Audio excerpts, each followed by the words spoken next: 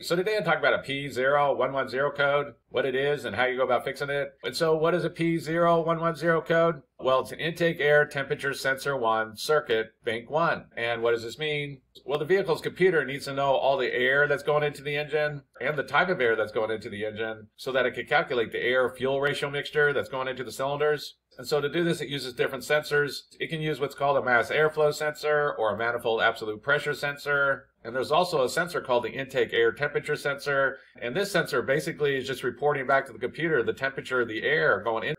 And since the density of air can change depending if it's colder or hotter, the computer can use this information to adjust the air fuel ratio mixture going into the cylinders, which can fine tune the engine and keep it running really well. And when you get a P0110 code, the computer's seeing a problem with this, so it's going to have to be troubleshooted know why. You know, one thing about these sensors, especially the intake air temperature sensor, is that sometimes it can be built into other sensors, like the manifold absolute pressure sensor or the mass airflow sensor, or it can be separate. It's going to vary. It's going to depend on the engine, the year, the make, different things like this. So it's a good idea to get a diagram where all your sensors are located and what's going on with them. To know for sure what's going on inside your particular vehicle. For example, here's a 2007 Ford Focus, and as you can see right here, you've got the manifold absolute pressure sensor and the intake air temperature sensor, and they're built into one. So it's going to look like one sensor on the engine. And also sometimes there could be more than one intake air temperature sensor. For example, inside this code, this is saying bank one. And if you have a V6 or V8 engine, bank one is always deciding the engine with the number one cylinder. So you find the number one cylinder on your engine,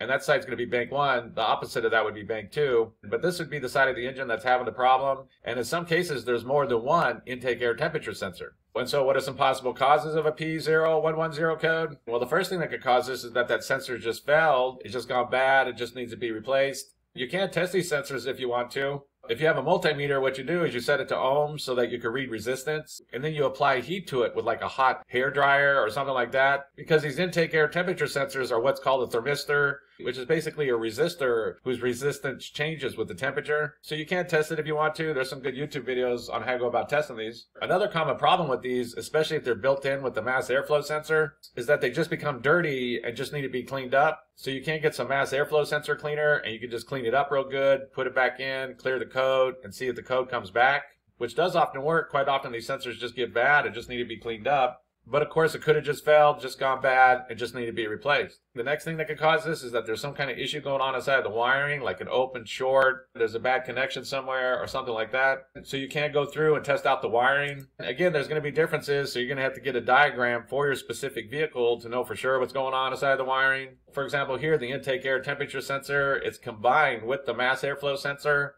And so to test the wiring for the intake air temperature sensor, you would test out the pins one and two for any opens or shorts or anything like this. But the next thing that could cause this is that there's some kind of wiring issue going on with that intake air temperature sensor. And so that's basically it. I just want to give a basic overview of how you go about fixing a vehicle with the P0110 code. If you have anything to add, please comment down below. If you have any questions, ask me and I'll try to answer them. If this video helps you, please click like, please click subscribe, and have a good day.